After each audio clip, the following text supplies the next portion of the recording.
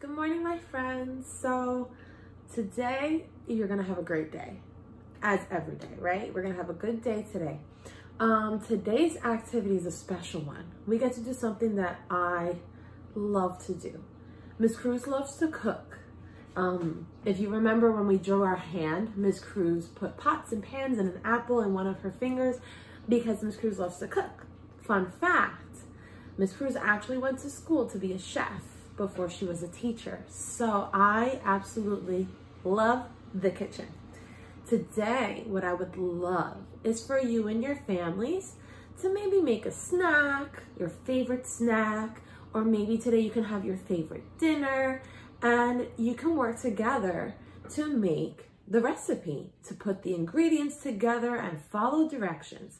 Miss Cruz is going to make her favorite type of sandwich. It's almost lunchtime in my house, so I'm going to make a sandwich.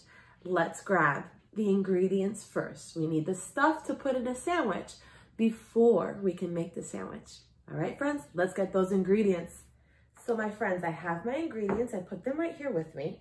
To make a sandwich, there's one thing you definitely need. What goes on the outside of the sandwich that you hold?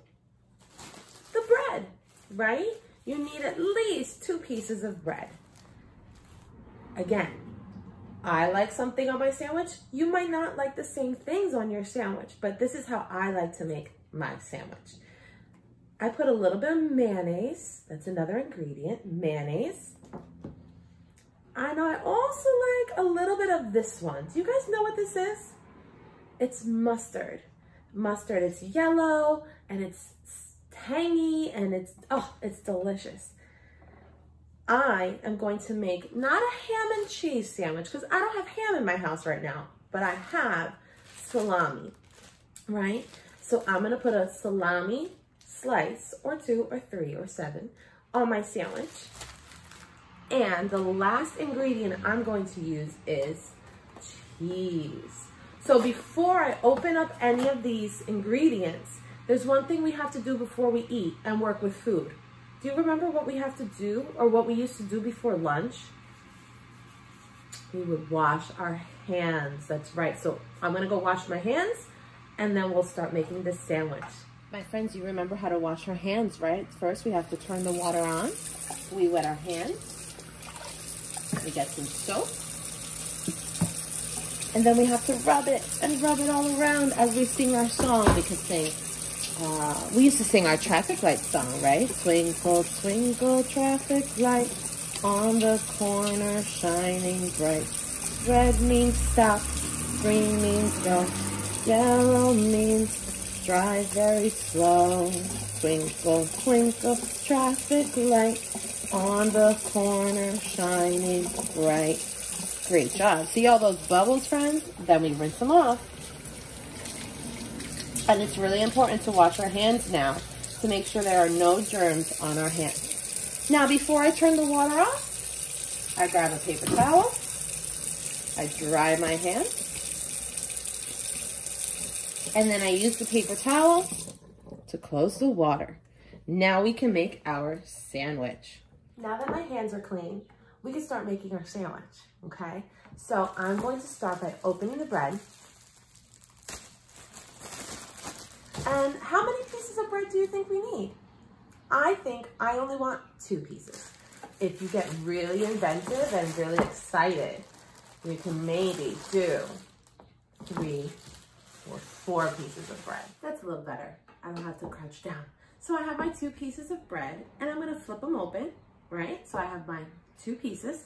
And next, I'm gonna put mayonnaise on my sandwich. So you gotta open the can. Can't just get the mayonnaise without opening, right? The jar. So I'm gonna open the jar. You gotta twist it to open.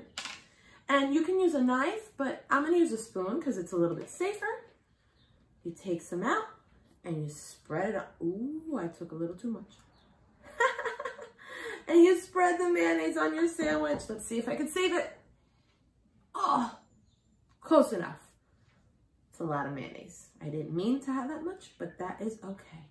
So I'm gonna spread the mayonnaise around on both sides of the bread using my spoon, right? And again, if you don't like mayonnaise, you don't put mayonnaise on your favorite sandwich. I like mayonnaise. So when this is done using it, you gotta put it in the refrigerator, okay? Once it's open, it has to stay cold, all right? So I'm gonna put it away and we will keep going with our recipe. All right, so I put the mayonnaise away. Next step is, do you remember what this was? The mustard. So I'm gonna squeeze the mustard just a little bit. First you gotta shake it because sometimes it separates, right? You don't want it to be watery. You want it to be nice and creamy and smooth. So you shake the mustard a little bit, pop the top open. I just keep making a mess. I keep splatting stuff everywhere. And you just squeeze a little mayonnaise. Ooh, sometimes it makes a silly sound. so I like mustard on my sandwich. Mustard, but that's okay. You make your sandwich or your meal however you like. If you like it with less mustard, no mustard, onions, no onions. Some people put lettuce and tomato on their sandwich. I'm not doing that today. My sandwich is gonna be very simple. This also has to go in the fridge. So I'm gonna put this in the fridge and we will keep adding to our sandwich. Okay, so we're following a recipe. My recipe for my favorite sandwich, right? Which, do you remember what kind of meat was gonna be on it? It wasn't ham because I don't have ham. It's gonna be salami. And now salami, it's kind of like ham because it's meat, but it's has a different shape. Ham is sometimes a square and salami is sliced to be like a circle. So I'm gonna take some salami and I'm gonna put it on my sandwich. Let's see, one, two, three, maybe four slices of salami. Four. So that I have meat on one side of my sandwich. On this side, I'm gonna put the next ingredient. The next ingredient, do you remember what I put next? In my list of ingredients before, I had bread and mayo and mustard, salami, and the last thing, some cheese, cheese. So I'm gonna take a slice of American cheese. It's yellow or orange looking. And I don't like a lot of cheese on my sandwich. Unless it's a grilled cheese sandwich, then it needs to be super cheesy. But on a salami and cheese sandwich, I just like one piece of cheese. Very simple. Now, is it a sandwich? Are we done? Can I just eat it like this? Ooh. Oh, that's gonna be good. No, how do you do a sandwich? You gotta bring it together. So Miss Cruz is gonna close her sandwich. Awesome. And now you can either eat it like this. I wanna show you what it looks like on the inside. So I'm gonna take a knife and I'm gonna be very careful. Maybe your mommies and daddies can help you with this part to cut your sandwich or you just eat it like this. I'm gonna cut mine so you could see the middle. And you see how my bread is kind of like a rectangle right now? Watch what happens when I cut it. What shape does it become? It becomes almost like a triangle. Do you see that? You could see it here. It's almost like a triangle. And then look at the inside. It looks delicious. And then once you did all of that and follow the directions, it's time to eat. Mmm, my favorite sandwich. My friends, great job helping me make my favorite sandwich, following the recipe, following directions. Remember, when you make a sandwich, you can make it with whatever ingredients you like. If you like only cheese, it's like a grilled cheese sandwich. If you like only meat, hey, that's great too.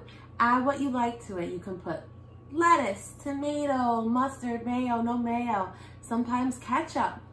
It's all good. You make your favorite meal. I hope you had fun watching this video. I hope you and your families have fun making something today, even if it's just putting some crackers on a plate and counting them or putting some cream cheese on some crackers or butter on crackers.